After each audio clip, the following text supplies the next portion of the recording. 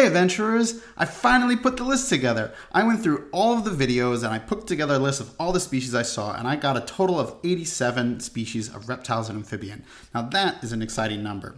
Now, it's not really that much. There are almost 700 species in all of uh, North America, so it's really a, a, small portion, but I think pretty good for one year. And it was exciting. This was mostly put together across six different states. So, like, obviously, the one I live in, California. We also had a trip to Illinois, Missouri, a lot from Louisiana, North Carolina added a lot to the list, Tennessee as well. And I even think I picked up one species in Oklahoma. Now, for those of you who know, I'm also really into bird watching, and uh, but those numbers numbers are just well above the reptiles and amphibian numbers. I saw 244 species of birds, and that's like a okay year for me. The best year I've ever had was actually in 2015. I saw almost 400 of species of birds. Now, obviously, the birds are a little bit easier because they, they fly and they migrate, and so you don't have to go to quite as specialized places to get all the birds on your list.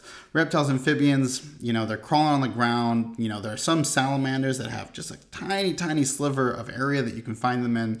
And so I think it's a lot harder to sort of pick up all those all those species if you just make a you know a couple trips at the right time of year. Now, what I really wanted to tell you about is this year. So this year I put together a goal. I wanted to get a nice round 100 species and hopefully you'll you'll enjoy watching as I collect things, uh, collect these species throughout the year. I'm not really on track so far in January. It's been a busy month, but I got two off the list so far. Garden slender salamander and black-bellied slender salamander. These are some of our most common salamanders out here in Southern California, so nothing too unexpected. But hopefully, you know, this weekend I'll pick up a fence lizard, maybe a couple other types of lizards, and hopefully a snake or two, and I'll start to build up that list. But stay tuned, watch the updates, and hopefully I'll have a lot to share with you every month as I hit as I as I get back on pace to hit that goal of 100 species.